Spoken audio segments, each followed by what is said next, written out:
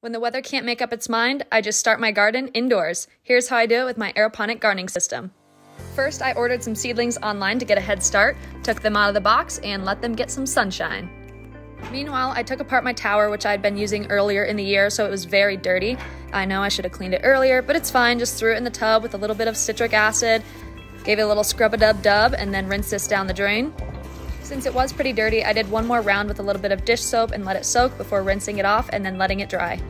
Next, I put the tower back together and just stacked up the pieces like Legos.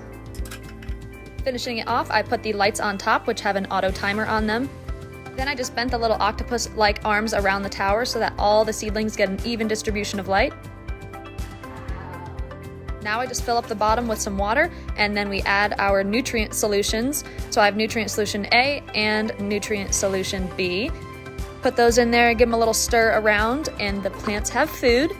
I set my pump timer to indoor mode and then put in my little baskets which hold all my plants.